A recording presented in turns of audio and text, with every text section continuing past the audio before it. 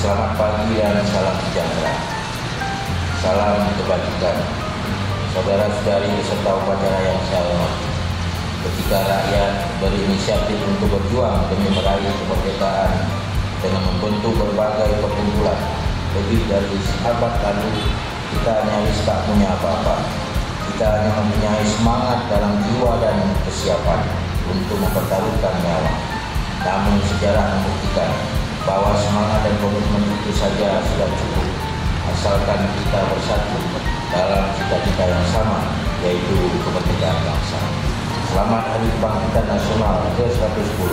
Mari kita maknai peringatan tahun ini lingkungan kita masing-masing sesuai untuk tugas kita untuk semaksimal mungkin memfasilitasi peningkatan kapasitas sumber daya manusia terutama generasi muda yang akan membawa kejayaan bangsa di tahun-tahun mendatang. Terima kasih. Bangkit Indonesia. Wassalamualaikum warahmatullahi wabarakatuh.